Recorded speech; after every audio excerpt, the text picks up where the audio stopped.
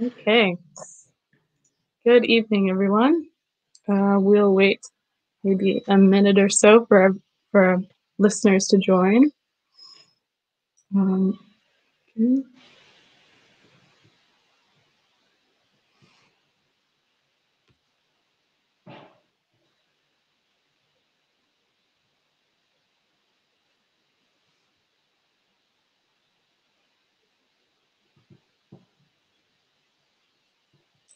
Good evening for those that are joining.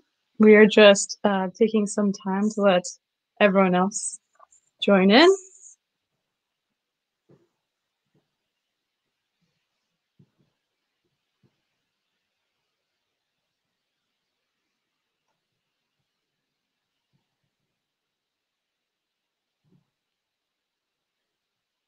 Good evening.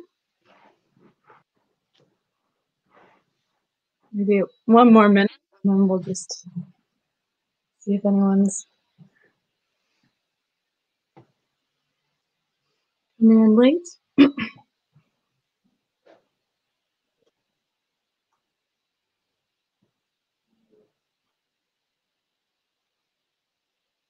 Good evening, those who are joining. Just, just take a few more moments.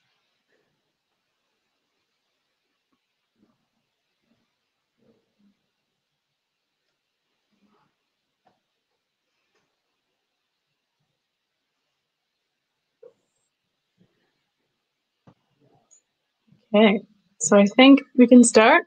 Uh, viewers will join us. Attendees will come in as they wish. Swiss. So, hello and welcome to everyone joining us um, for another live stream talk. We have a special guest presenter who I'll introduce in a moment. I am Valenza from SEN Talk. We are a charity based in South London, which aims to provide better social and emotional health outcomes for children with special educational needs and their families. If you're joining us live, feel free to add your questions into the chat on the screen. We will try to respond to as many as we have the chance to um, after our presentation today. If you're watching the YouTube recording, please add your comments and questions and continue the discussion. With that said, I'm delighted to be joined with Nicola Johns. She she is a passionate children's occupational therapist in Wimbledon Park and working within Southwest London. Nicola has studied her master's in occupational therapy in Australia and has worked with children with a range of challenges in London since 2009. She is an advanced sensory integration practitioner and has postgraduate training in developmental coordination disorder or dyspraxia, handwriting interventions, visual stress, sound-based therapy, and Makaton signing. Nicola has experience using a range of assessment and treatment strategies with children with sensory processing difficulties, ASD, ADHD, dyspraxia or DCD, dyslexia, developmental delay, and social communication difficulties. She specializes in assessing and treating children with sensory processing, attention, coordination, postural, and handwriting difficulties to help them reach their full potential. With that said, today's presentation will center on eating and feeding difficulties and useful support strategies we might use. Nicola, welcome. You have the floor now, so I will put up your presentation. Brilliant. Thank you, Valenza. We Good can evening. Sorry. we can see your presentation, just so you know. Okay, brilliant. Great. Thank you, Valenza. And good evening, everyone. Thank you for joining us. So today's talk, um, Sen Talk asked me to talk on this topic as I think there have been a few requests from some of the parents who were struggling with some feeding and eating difficulties with their children. So it will be a general OT based talk discussing the difficulties that you might um, be noticing and some strategies that that might help. Just to say this, I'm not going to go into specifics of really complex feeding difficulties because for this, firstly, we'd need a very long talk and I wouldn't be able to cover everything. But secondly, um, these kind of complex eating eating disorders and things should be seen by a specialist feeding team. But I'm really hoping that looking broadly at a whole range of factors and strategies will give each of you a couple of tips to take to take home, and there'll be different things that um, that will that will jump out to jump out to each of you. So just note down anything that that might be of interest. Okay. So our aims for the talk today are to talk about what feeding and eating issues are. These words can be used interchangeably, but they often use feeding to describe difficulties for infants and children, and then eating difficulties or disorders for um, teens, adolescents, and adults. We'll talk about the factors that might lead to these issues. We'll talk through a range of strategies you can try at home, I will point you in the direction of where you can get a bit of further help or information, because there might be things that have triggered some ideas from this talk. And then at the end, we will have some time for questions and answers. So as Valenza said, please do put your questions into the chat box. So we're going to start with why don't some children eat well? Why do they find eating so difficult? So importantly, eating is actually not that easy. It's a really complex process. There's 25 to 32 steps that they have that everyone has to go through before the food even gets to your mouth. Eating involves all of our organs, all of our senses, and there are so many different muscles involved. So it is really complex, and any difficulties at any of these stages can easily cause cause barriers. Sometimes underlying diagnoses or difficulties can have an impact on eating. Um, so it's commonly seen with children with autism spectrum disorders. About 67% of them might be picky eaters. 90% of children with ASD will have sensory processing difficulties. Many children will have sensory processing difficulties as a, as a standalone difficulty, and that's going to cause a lot of issues with your eating. Um, and also just typically developing children are going to have difficulty difficulty eating some of the research says about 20 to 45% of typically developing children might have difficulty feeding at some time. It's important to say that behaviors such as refusing new foods are normal are a normal stage of a child's development. So just because your infant, toddler, child, teen is refusing food sometimes does not mean that they necessarily have a feeding difficulty or, or an eating disorder. It's really normal to go through this. Um, it's more just working out when actually this has become a bigger problem than would be expected. The kinds of things that your child might be experiencing or reasons that might have brought you to come and listen to this talk would be seeing picky or selective eating, your child might be struggling with textures, tastes, or smells of food. They might struggle with their independence with eating, independence with using cutlery, with finger feeding, with you, you know even emotional independence, things like that. They might not know when they're hungry or full or thirsty. They might have difficulty sitting at the table for meal times or not sitting for very long when they do sit. They might show other negative behaviors at meal times, like running off or throwing food or tantrums. Or they might show behaviors like choking, gagging, or vomiting, which can make meal times really distressing. So firstly, it's important to distinguish between the difference between picky eaters and problem feeders. As I said, many children can be picky eaters. Um, they will eat, picky eaters will eat a decreased range of food, but they will eat more than 30 different types of food. And sometimes you need to look at the different specific types of food they're eating. You might think your child doesn't eat that, but actually, when you sit down with a list, or you can get feeding checklists off the internet or from therapists as well, you might be surprised to know that actually you're ticking more boxes than you think than you think you are because they're eating a range of different types of food in those categories. So picky eaters, they tolerate new food on their plate and they might touch or taste it. If they stop eating a particular food, they may be able to eat it again after a couple of weeks. And they eat at least one food from each texture group. So they'll eat at least one wet food, at least one dry food, and they'll eat at least one from the nutritional group. So at least one carbohydrate, at least one protein, at least one fruit and vegetable. And they learn how to eat food quicker than problem feeders. And they generally can eat with their family or their peers. Not all the time, but they can. When we look alternatively at problem feeders, they are much more restricted in the range and variety of their foods and they're eating less than 20 foods. And this shows us that they might have a major difficulty. If they do stop eating a particular food, they won't be able to pick it up again after a period of time. You can see lots of emotional difficulties like crying, upset, refusing, and they might refuse an entire category of textures and never eat wet or dry or mixed textures or not eat a single protein or fruit. It takes them a long time to add new foods to their diet, and they're often eating alone or eating a separate meal to everyone else in the family.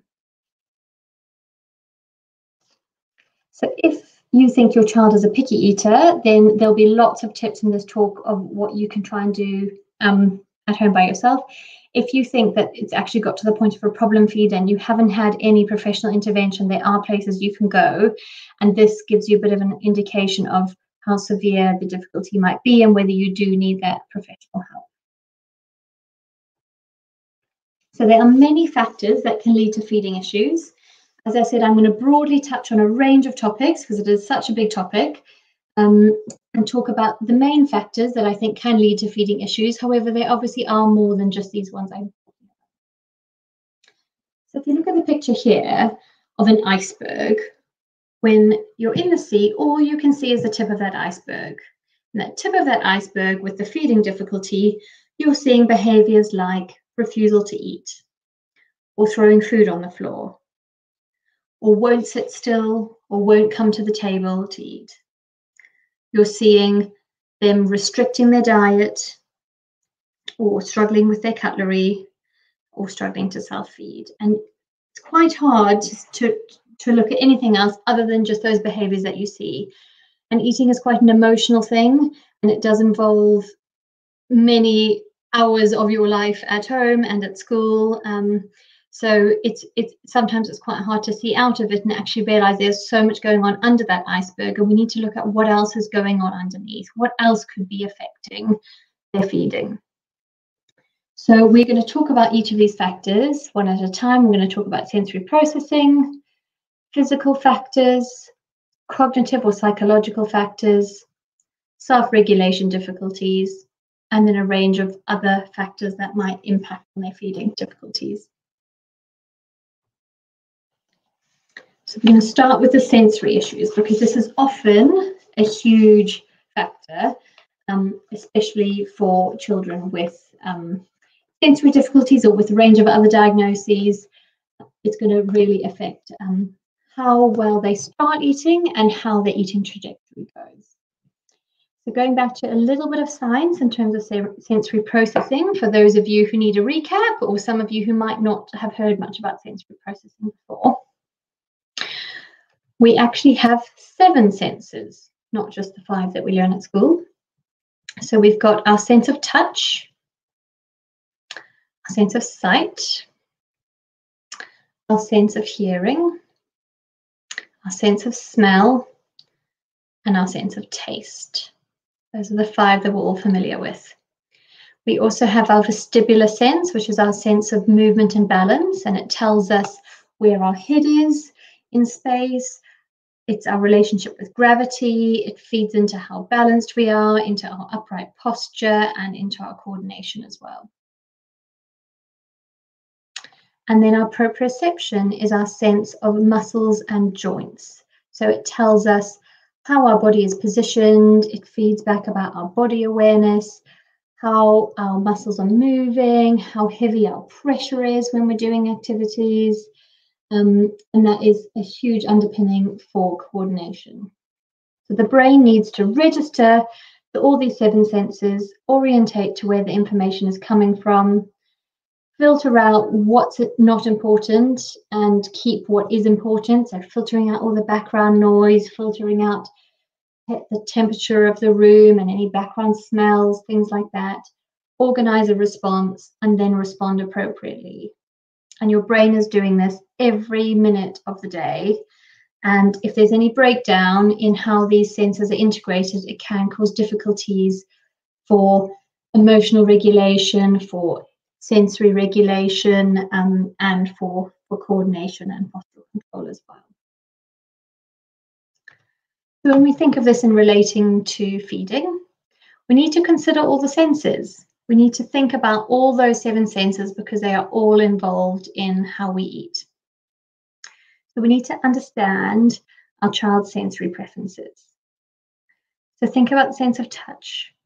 How do those foods, especially the ones they hate, how does that feel in their hands? You know, do you really want to touch it, or are you mainly serving with with a spoon or something and then expecting them to eat it with their hands? How does it feel with their hands? Are they really sensitive? Are they tactile defensive? How does that food feel in their mouth in terms of texture, in terms of temperature, and in terms of taste?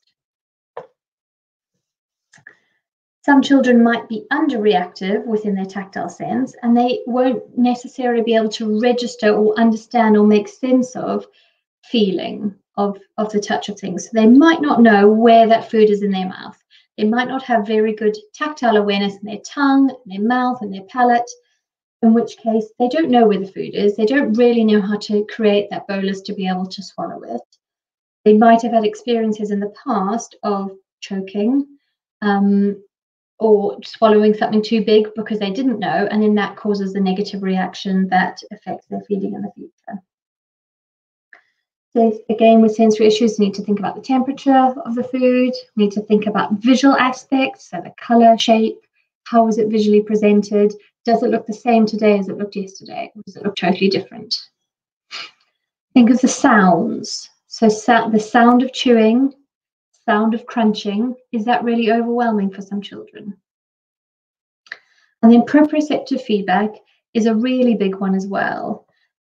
Again, the awareness of where their tongue is, awareness of how their jaw is moving can be a huge one for children not feeling very confident or in control of how their feeding is going. Or sometimes you get an overstuffing mouth. So children will put lots of food in their mouth and they'll keep stuff in their mouth and their cheeks all, all stuffed out. And that might be a sign of proprioceptive feedback because they're not getting enough feedback from their cheeks, from their, in, their inner mouth to know when they've had enough and therefore they're overstuffing to get that feedback and that makes them feel good. And then movement of vestibular sense. So is there lots of movement around them? How is their seating? Are they seated nice and stable and how is their posture? Are their legs on the floor? If their legs aren't on their floor, they might feel unstable. They might not feel like they've got a, they're grounded. They don't have a good relationship with gravity. That might make them feel a bit nervous. Again, children with severe vestibular difficulties might really struggle with their head movement. So tilting their head back to be able to have a drink might feel like quite a worrying, anxiety provoking experience. We also need to think about the sensory issues with the environment. Consider the noise in the environment, which could be just coming from the cutlery on the plate, or could be coming from people talking around them, or at school, or out and about in the community. It could be really overstimulating, loud, noisy um, canteens. Could be really distracting, really busy, which stops them from eating, or, or sensory overload because all their senses are being overloaded um, by the environment. And then some people call it the eighth sense, and some people say actually interoception is a combination of the other senses It's actually your internal proprioception and your internal tactile awareness. And this is our internal sense of things like when we are hungry, full, or thirsty.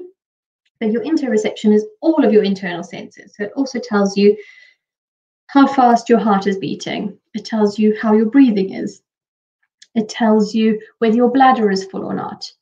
It tells you whether you're sweating, whether you're hot, whether you're cold, whether you're tired, whether your muscles are tired, fatigued, or full of energy. There's so many different aspects to interoception. It's a really big field.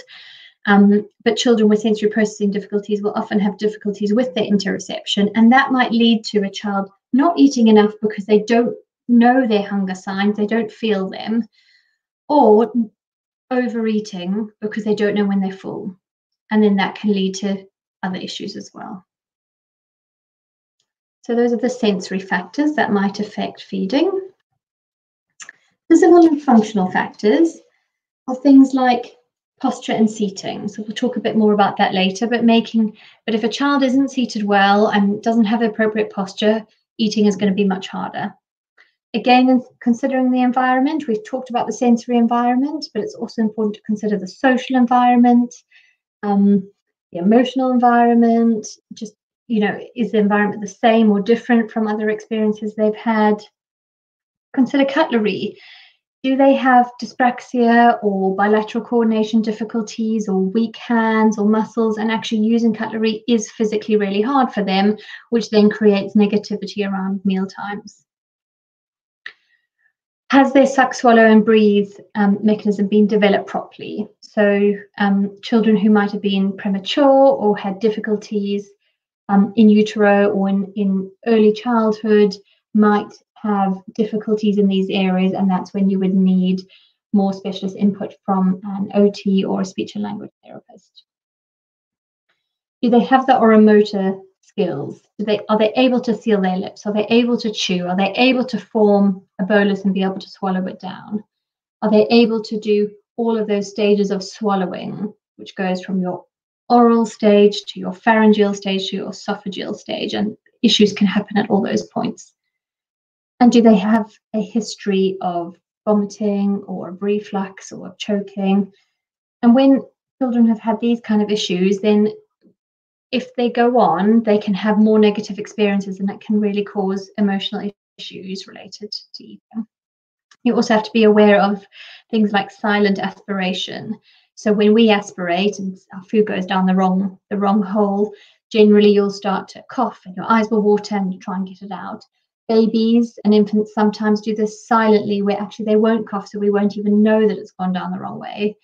Um, but it can have a really big impact on them um, medically and they really need to be assessed by a doctor just for you to be aware of. Other issues which i'm sure many of you can relate to are their thinking style. So Inflexibility, rigidity, and reduced tolerance for uncertainty are big issues, especially for children with ASD, but can be for a range of children who might have anxiety and feel like they need to be in control of things. So, children who don't like uncertainty or change. So, they like to have the same food in the same place, in the same location.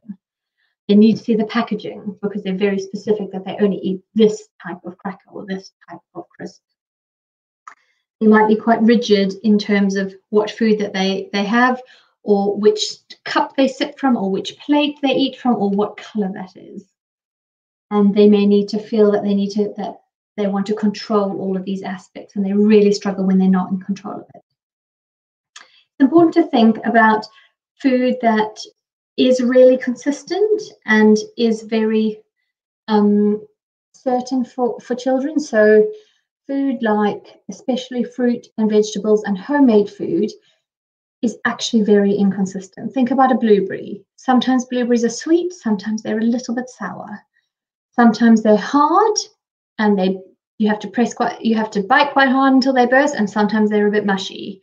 That is going to cause issues for a child who does not like change and is rigid and a blueberry is just never the same and that's one of the reasons they might avoid them. And think about that when you think about lots of different fruit and vegetables and um, other more more natural foods. Whereas a cracker or food out of a packet is exactly the same every single time. So no wonder they find it easier.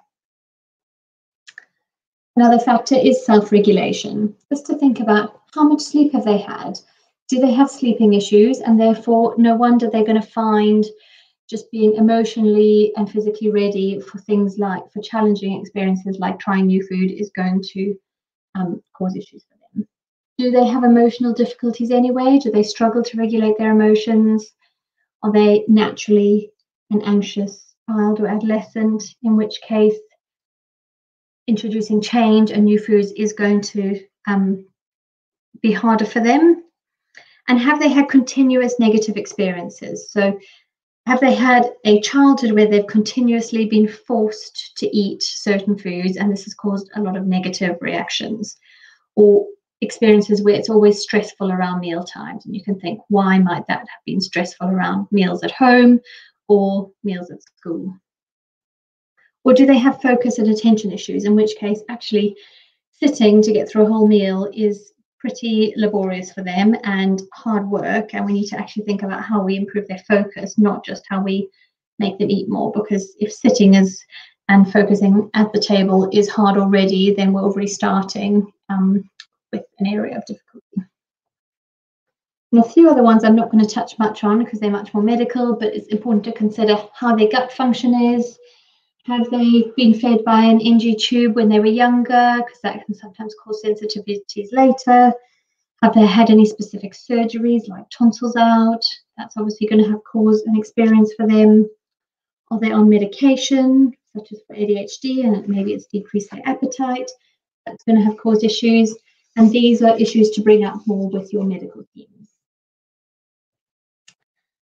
Okay, so we've talked about the factors. Now we're going to talk about what can you do to help your child. So there's a range of different tips, again, in different categories I'd like to go through, and hopefully one or two of these will stand out um, for the child that you're thinking of in their particular situation.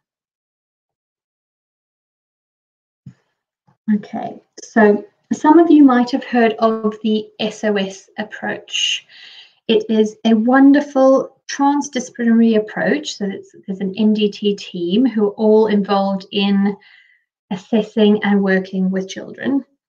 And it integrates looking at posture, sensory, motor, behavior and learning, and medical and nutritional factors. So it really looks at feeding as a whole. It's grounded and based in normal development, and that's the trajectory it follows, is how normal development for eating occurs. And what's involved is you go through a hierarchy of 32 steps to each new food. You'll start at the bottom of these steps, and the child will work all the way up until they get to the final step, which is eating. So as I said, there are so many steps that have to be done before that food actually gets in the mouth and gets down to their tummy the way the SOS approach runs, um, they prefer to run it in peer groups and they work on the positive social reinforcement and how that is used for children to master skills with eating. They also like you to try a range of foods at each step rather than just one food going up the ladder. So to keep trying a range of foods in each step as range drives volume. I'm sure you can imagine that once children are eating a wider range of food, it's easier to get more on their plate and more down if you're worried that they are not gaining enough weight. So as I said, there are so many steps in each category for eating.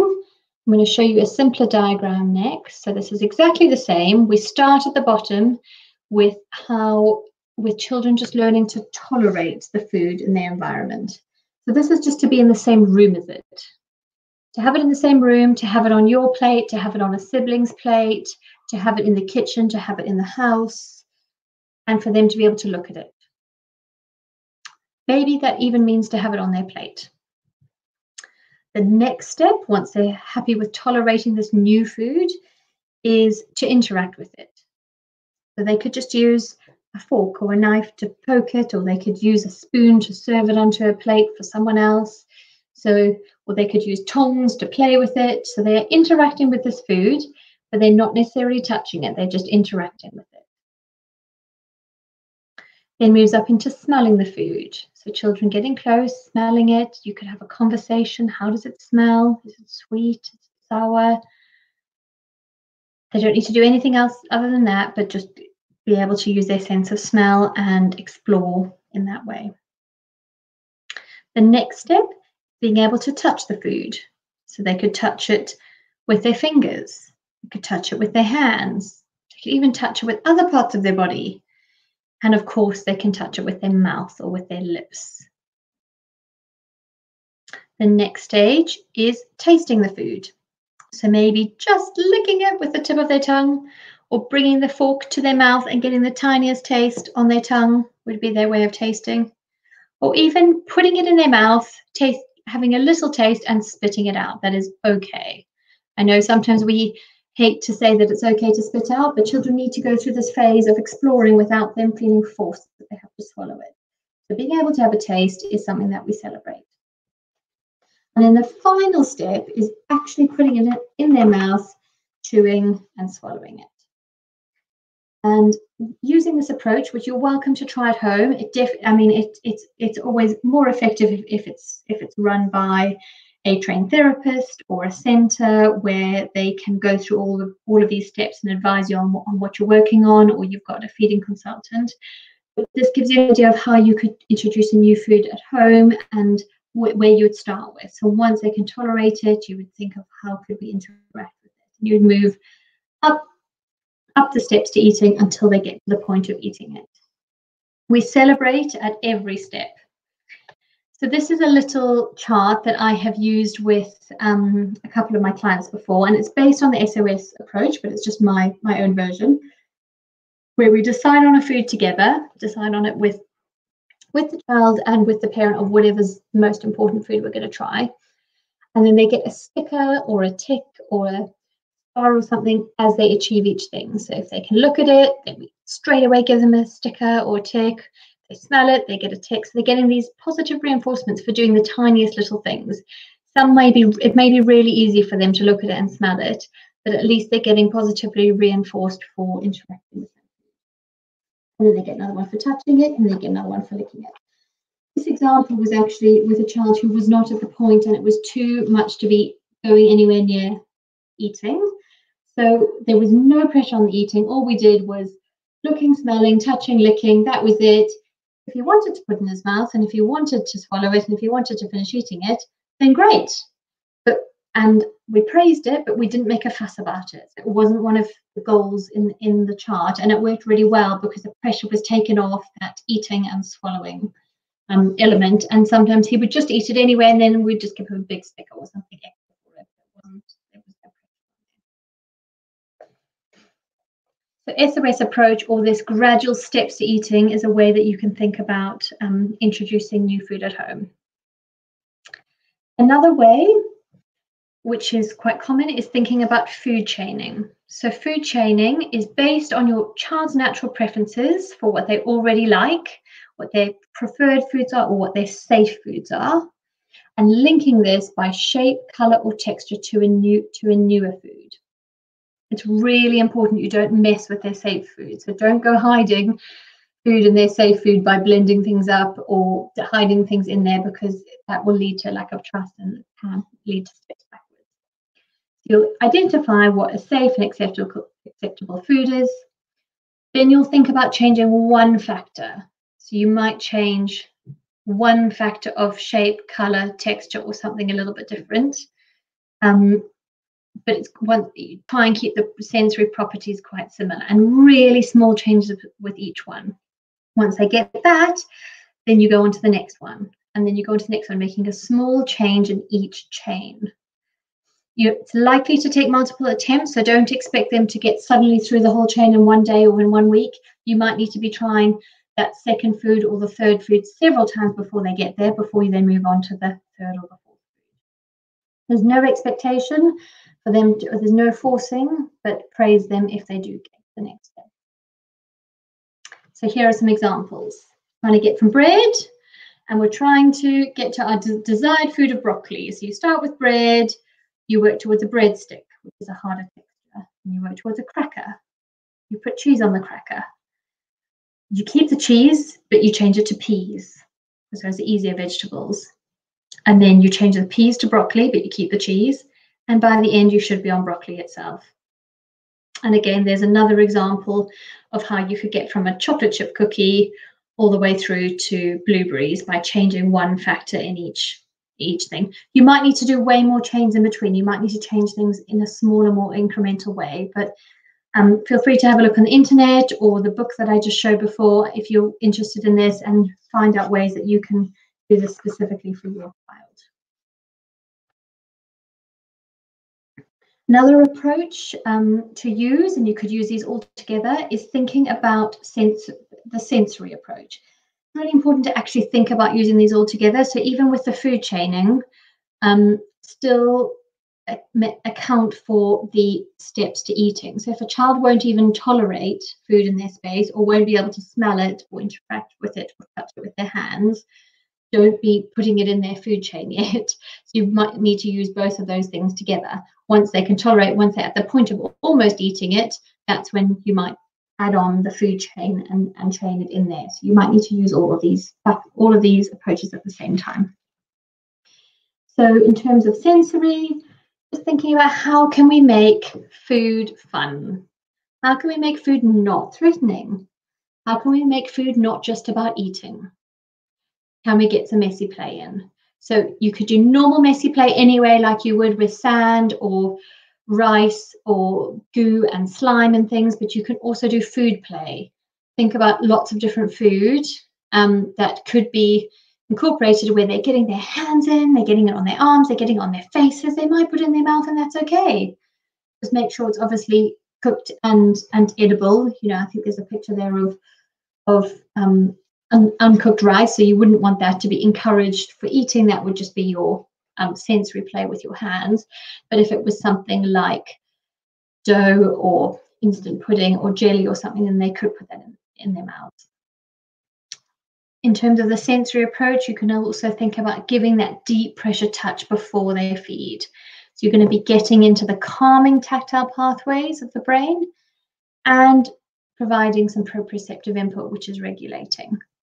So deep pressure, massage, or pressing through their face, through their lips, through their gums, and through their upper palate can all help to desensitize their face and their mouth which then means that they might not be so sensitive when they put food in their mouth after.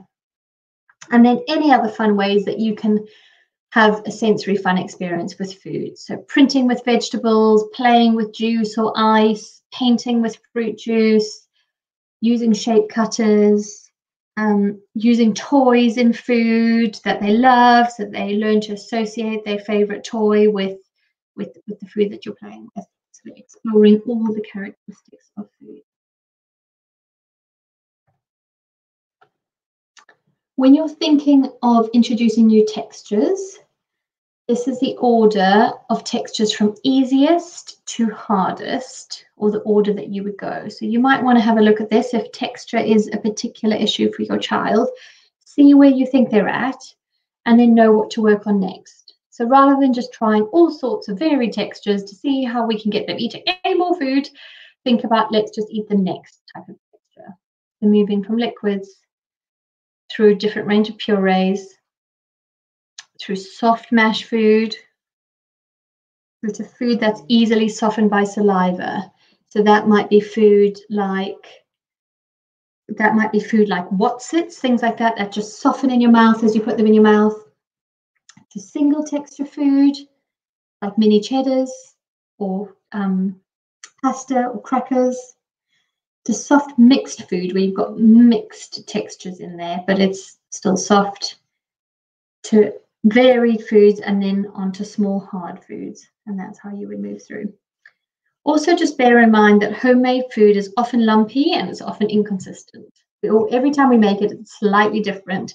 So it's great to work towards homemade food, but you might need to start with pre-packaged food because um, that is going to be much more consistent.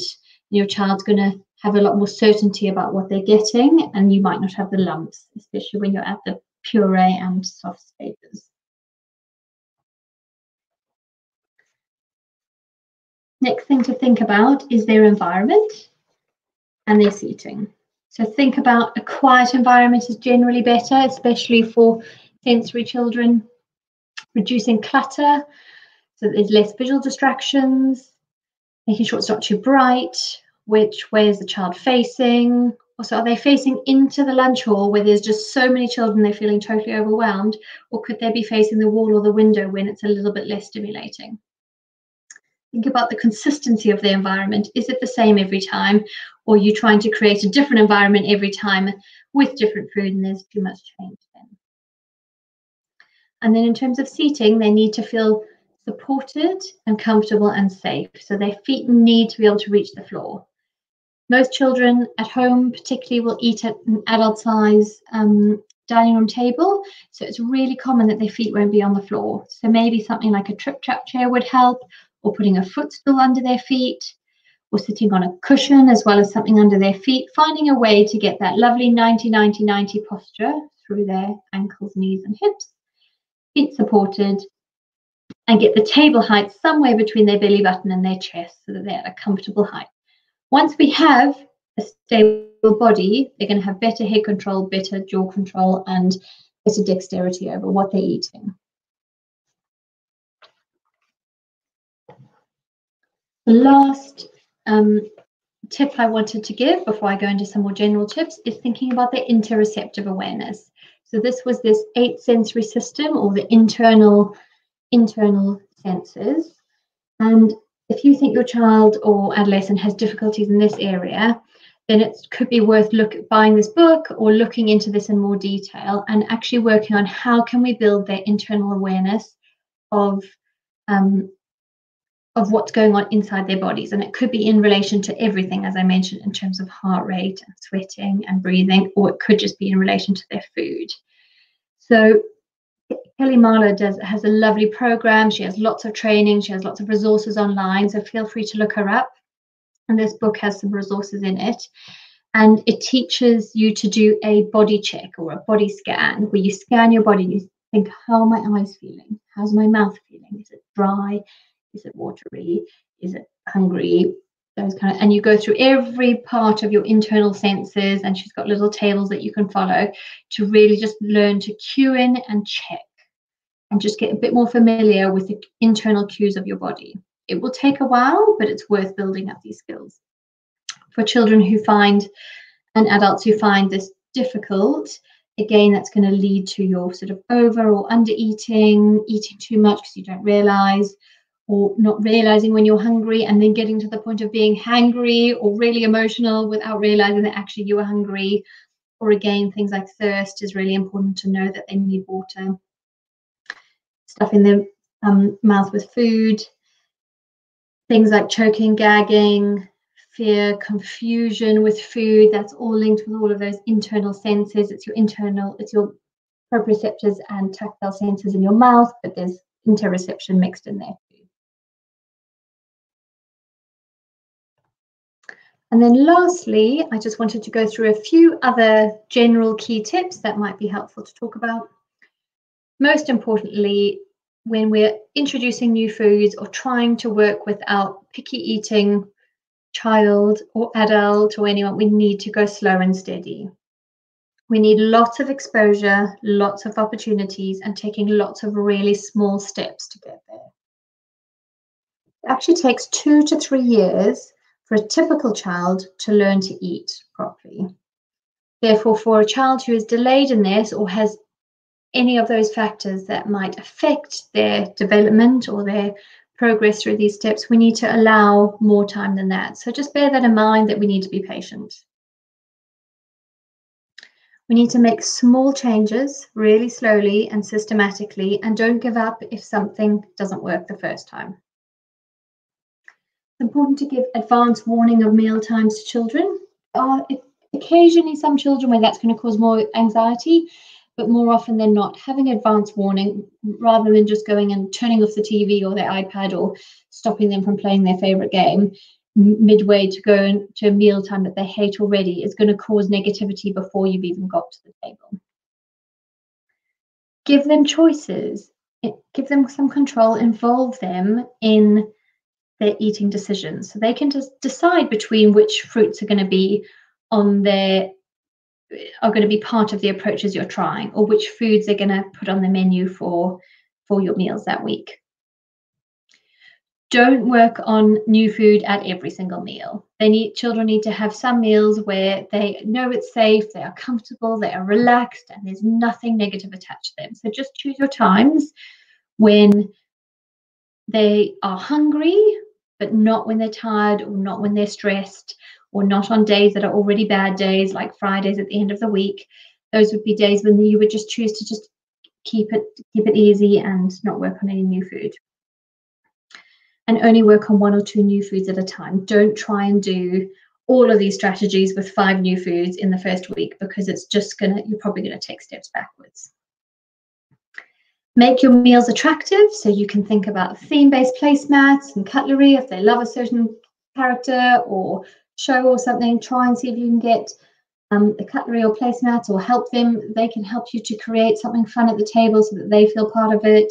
Or cut the food into fun shapes, make fun shapes like this picture on here so that it's just more of a fun experience. Try and reduce the distractions.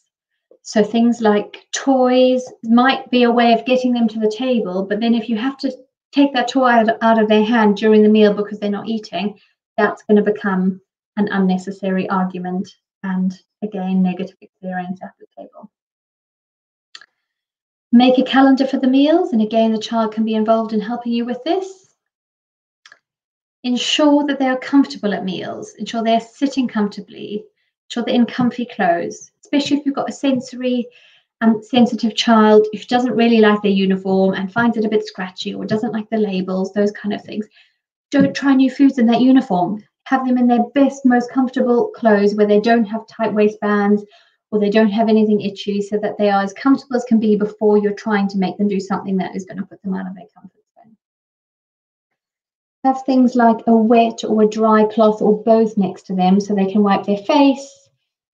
Give them paper towels or napkins so that if they hate something, they can, hate some food, they can spit it out and that's okay. And they've got a way to do that in an appropriate way that you have provided and work towards rewards. Rewards and incentives always make the difference. So come up with some rewards of something you're working for, an event at the end of the week or an outing or working towards an activity they can do after the meal time so that they feel like it's actually really worth going through these more challenging experiences to try the new food.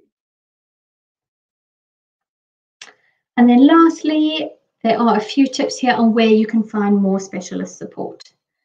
So Evelina has some fantastic feeding services that you can be um, referred into, especially if you have a particularly restrictive um, eating difficulty.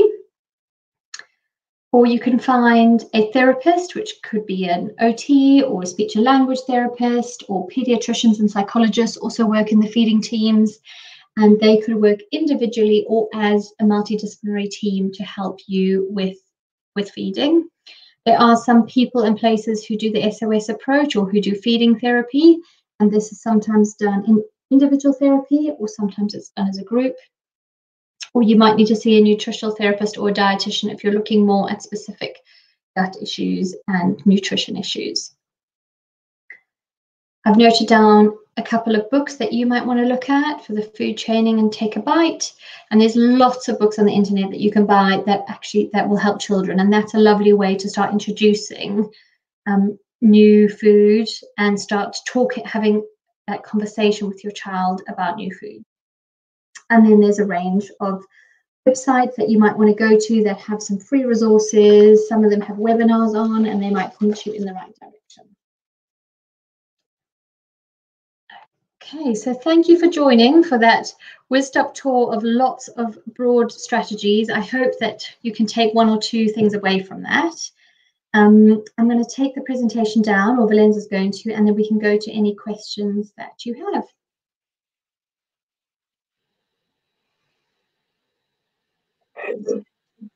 Okay, so if you have any questions or comments, feel free to just leave them in the chat box on your screen.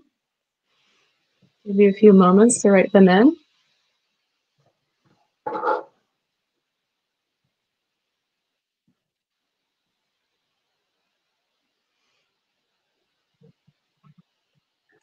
Okay, well, thank you so much, Nicola. Um, so if we don't have any questions at the, at this time, is it all right if I forward you questions? Absolutely, yes. Feel free to email in questions Nicola? and I will get back to you. Okay, fantastic.